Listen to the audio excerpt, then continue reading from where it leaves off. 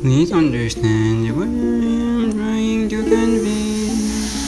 There are people in this slaughter room, standing just a few feet away. And you're the only one who heard my chant.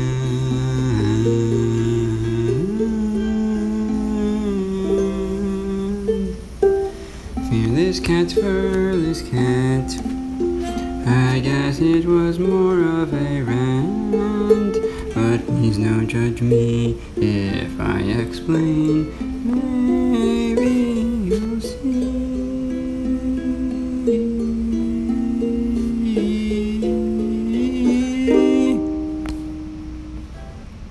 I'm suffering, struggling, trying to decide if what is on the outside is enough to please the inside of my heart.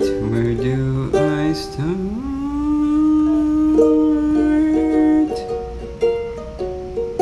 How can I make you understand me?